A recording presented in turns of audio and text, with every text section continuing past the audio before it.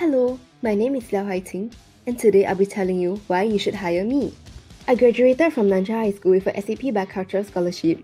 Then I moved on to Ann Polytechnic where I had a Sir Gareth Roberts Memorial Scholarship and pursued a diploma in tourism and resort management, as well as a diploma plus in Korean. And now I'm currently in Nanyang Technological University pursuing a bachelor's in business. Some of my hobbies include teaching kids, designing, photography, and coffee. I started writing freelance for lifestyle, travel, and food blogs.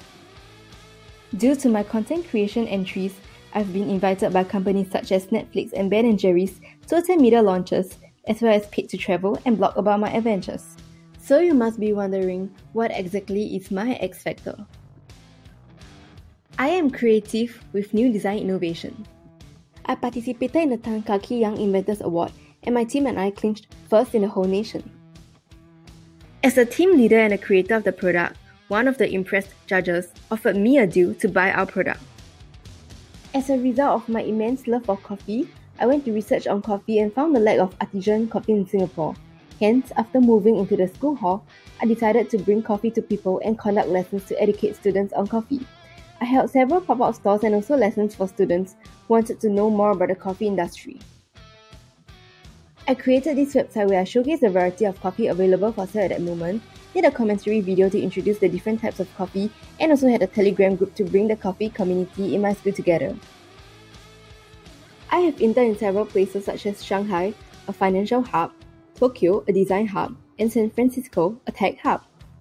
In Shanghai, I worked with a team which created a startup to link students from different parts of the world to teach each other their language. For example, students in China will be linked with students in America, with the Chinese teaching the Americans Chinese and the Americans teaching the Chinese English. With my trilingual abilities, I designed and curated several educational programs for them. During the time I was with the company, users and sales skyrocketed by a 200% increase. I am also an excellent team player with experience leading large groups. I had the role of a student leader in more than 20 camps and had to work and liaise with many people. Other than that, I also hosted Google events and planned a global conference where I had to work with people from all around the world. I am equipped with graphic design and user interface design skills as shown in this video and on my website.